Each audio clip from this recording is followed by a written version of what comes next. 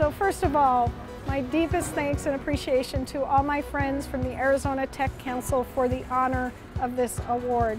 I'm deeply humbled and so appreciate the award. And I'm sorry that I can't be there to celebrate with you.